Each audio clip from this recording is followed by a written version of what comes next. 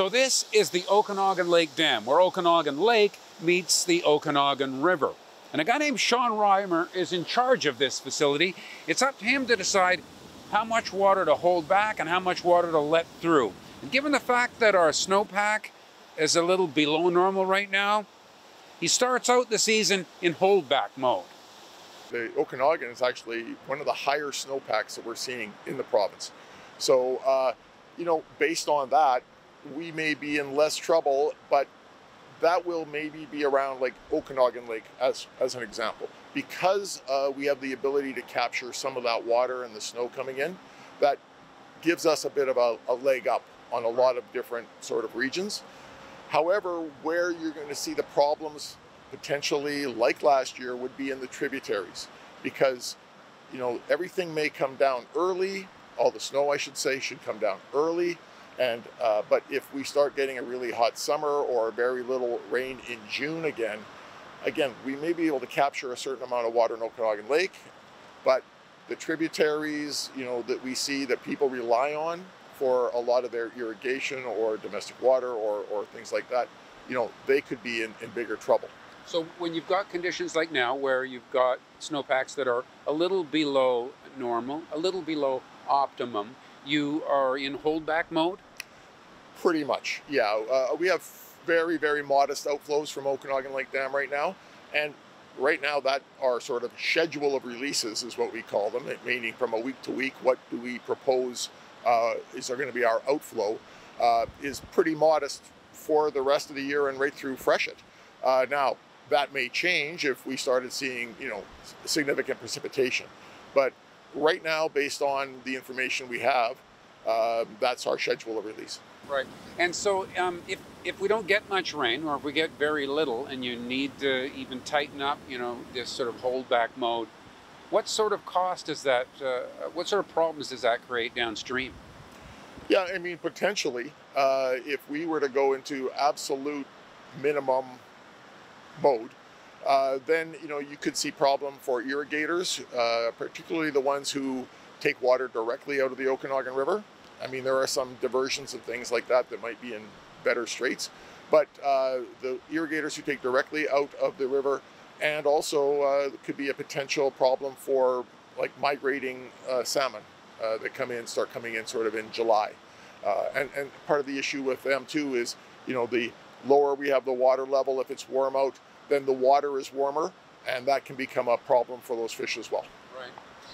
But I guess um, the um, human costs um, and the uh, cost to the uh, salmon are kind of the same. In other words, if you keep a, a, certain amount of flow, or if you're able to, you're not only solving that environmental problem, but also allowing people who rely on the river uh, to irrigate. Uh, you know, you, you, keep both of, both sides of the equation in a positive.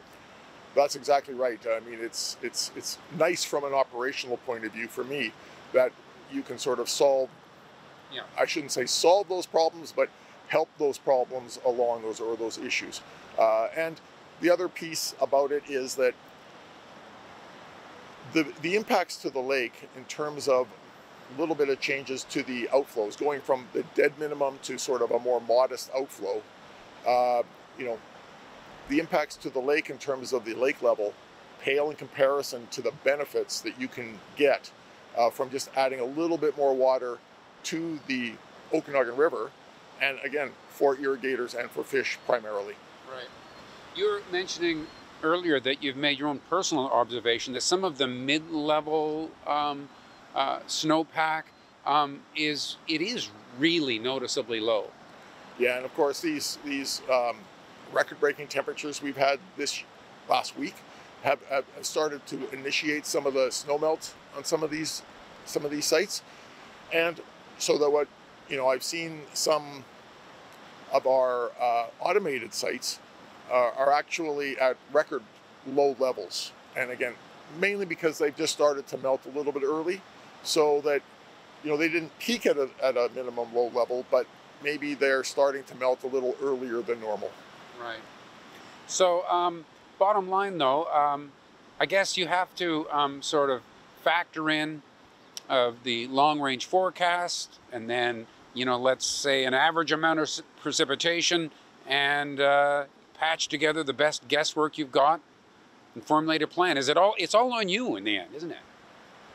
Well, I try not to make these decisions in a vacuum. I'm talking to people with the BC River Forecast Center. I've talked to people who are experts in fisheries and things like that. Uh, so, yeah, it's, I guess, a, a, lot of it, the final decisions in terms of the actual flows are there. But again, there's a lot of discussions going on. You ever go to bed at night second guessing yourself? Doesn't everyone? but um, bottom line, looks like you know it's shaping up to be a year that's not heading towards calamity at, at this point. No, not in terms of like I say our operations. I'm I'm I'm really hopeful that we get a decent amount of rain, particularly in June. All right. Uh, you know, I don't want too much, but of course I'm you know, cognizant of the other issues going on out there as well that concerning that might be concerned around drought and particularly like the wildfire situation. Right. Let's just hope things are normal. That would be good for you, wouldn't it? Let's hope for normal. Normal, average, uh, if there is such a word anymore. really appreciate this. Thanks again. And we'll be back next year. Uh, thanks for watching Kelowna Now.